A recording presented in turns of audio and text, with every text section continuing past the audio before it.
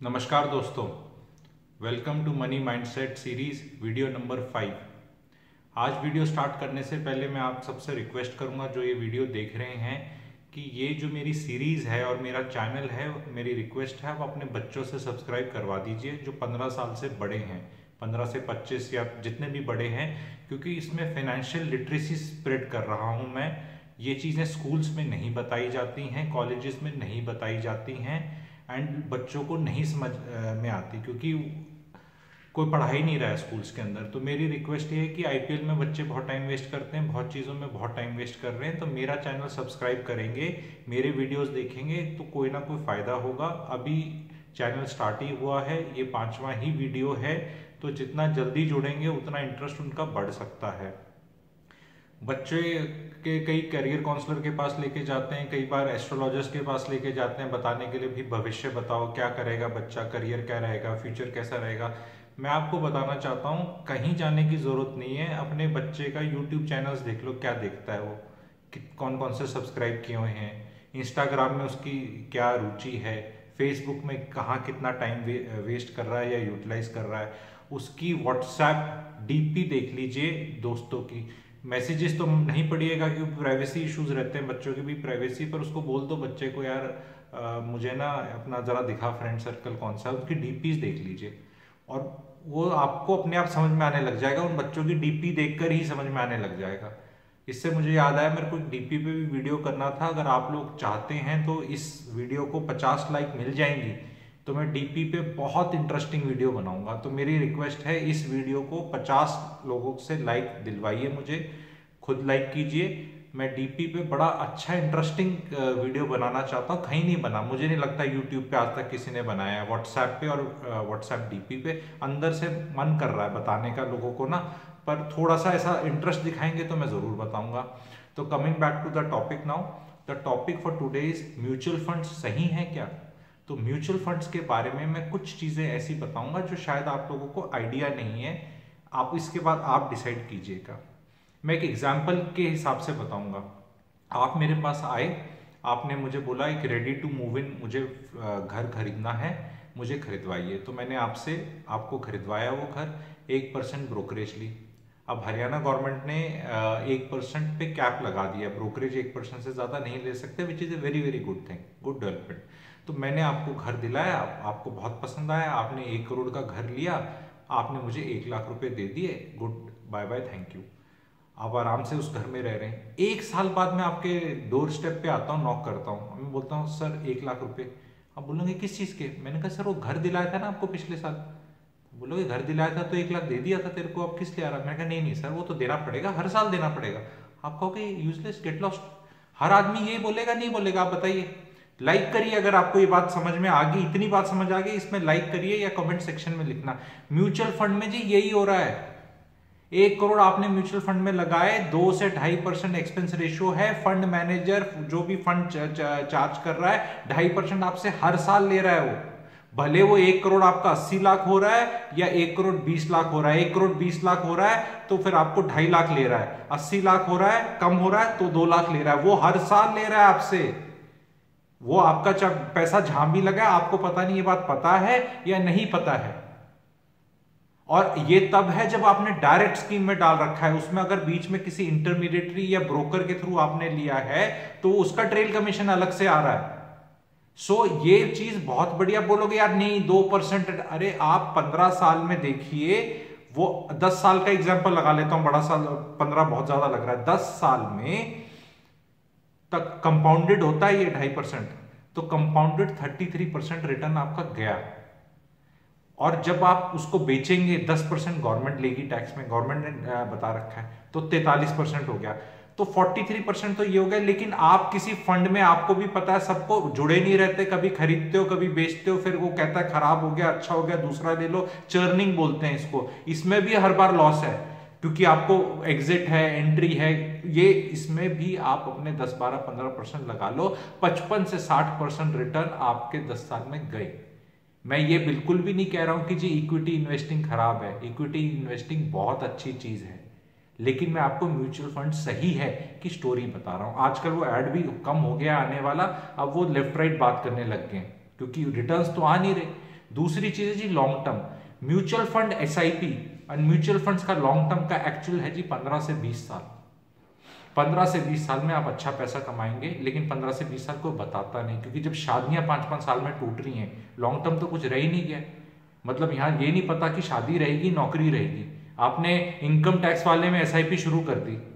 Income tax वाले से पैसा निकाल नहीं सकते। नौकरी चलेगी बच्चों की। तो अब वो कह रहे हैं कि तभी तो गवर्नमेंट ने नई वाली स्कीम निकाल दी कि भैया तुम ये इनकम टैक्स का लफड़ा ही छोड़ो, तुम अपना दूसरे वाला स्कीम ऑप्ट करो ब्लैंकेट रेट है, अलग टैक्सेशन जो है। तो इसीलिए निकाली और ये यंगस्टर्स उस तरफ़ भी जा रहे हैं बिकॉज़ इनको भविष्य अभी बच्चों का आके क्लियर नहीं है नौकरियों को लेके, शादियों को लेके रिलेशनशिप्स को लेके। तो म्यूचुअल ये माइंडसेट सीरीज़ में इसीलिए बता रहा हूँ मैं आपको, क्योंकि एक माइंडसेट है, उसको माइंडसेट को आपको बहुत एक तरह का करना है तब जाके आप पैसा कमा सकते हैं। तो म्यूचुअल फंड्स में आप 42, 45, 50 साल की उम्र में और आप लगे हुए हैं म्यूचुअल फंड में पैसा डालने तो मेरा मानना यह है कि आपके बच्चे की शादी बच्चे की हायर एजुकेशन आपका कोई बड़ा खर्चा ये टाइमिंग तो मान के आएगा नहीं ना कि अभी मार्केट आपका बहुत अच्छा है और अब आप आराम से निकल सकते हो तो कभी भी आ जाएगा। एंड हो सकता है मार्केट डाउन साइकिल में हो।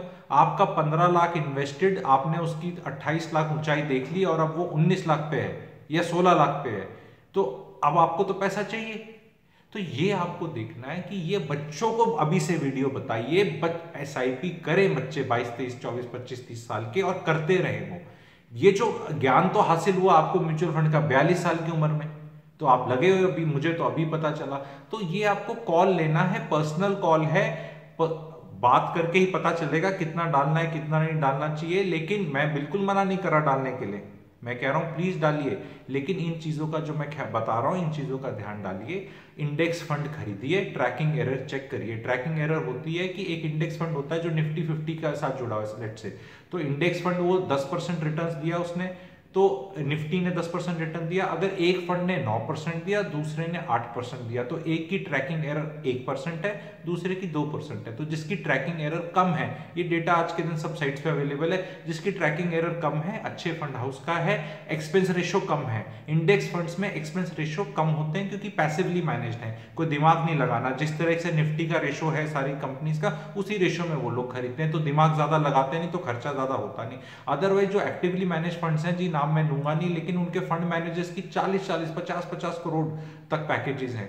जो कंपनीज़ इंडिया में काम कर रही हैं मैन्युफैक्चरिंग कर रही हैं सीईओ दिमाग की दही कर रहा है, उसका रोज काम करता, उनके तो पैकेजेस इतने नहीं है। ये वाले भाई साहब सिर्फ़ आज यहाँ लगा दे उतना लगा दे, ऐसे ये टीम बना रखी है, इसके इतने पैसे ले रहे हैं, बताओ, ये कहाँ से जायज़ सैलरी पैकेजेस हैं आपके? बिल्कुल भी नहीं है। और आप सीईओ को इनको देखना जो फंड मैनेज कर रहे हैं। ये एक, ये फंड भी मैनेज कर रहे हैं, ये भी कर रहे हैं, ये भी कर रहे हैं। अरे भाई, तीन हज़ार फंड खोल रखे हैं आप लोगों ने। 600 स्टॉक्स के अंदर पैसा लगना है। और उसके आपने एक एक एक, पाँच पाँच, दस दस लड़कों की टीम बना रखी है। वो पाँच पाँच, छह छह शेयर्स रिसर्च करके लाते हैं। वो ऐसे टिक कर देता है हाँ ये ले ले, ये ले ले, ये ले ले। अरे, दस साल का उनका ट्रैक रिकॉर्ड देखो ना, और स्टैटिस्टिक्स कैसे करते हैं? हर बार नया फंड बना देंगे तो किसी का, किसी टाइम पीरियड में तो परफॉर्मेंस अच्छा होगा ही। ये ज्योतिष की तरह है। कोरोना कब खत्म होगा? ट्रंप जीतेगा या बिदेन जीतेगा? दो करोड़ प्रिडिक्शन कर लो। दो करोड़ प्रिडिक्शन किसी की तो सही होगी ना। तो इतने फंड बना लो, इतने फंड बना लो कि अब ये मेरा खराब हो गया, वो ऐसा है ना जैसे मैं वो बना रहा हूँ, समोसा बना रहा हूँ। एक समोसा बनाया, खराब हो गया शेप खराब आई, फेंक दिया, दूसरा बना ले। कोई तो परफेक्ट बन ही जाएगा, फिर बोलो देख, उसी को दिखाओ। अरे आप सारे जो वो फंड मैनेजर जो हैं, उनके सारे फंड देखो।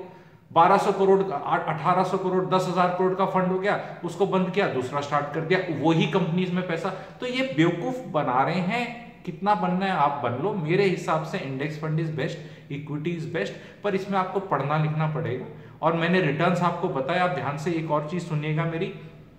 म्यूचुअल फंड्स में अगर आपको म्यूचुअल फंड वाले ने 10 परसेंट रिटर्न एक्चुअल में दिया तो दो ढाई परसेंट तो उसने अपना ही रख लिया, जो उसका चार्ज है। ठीक है?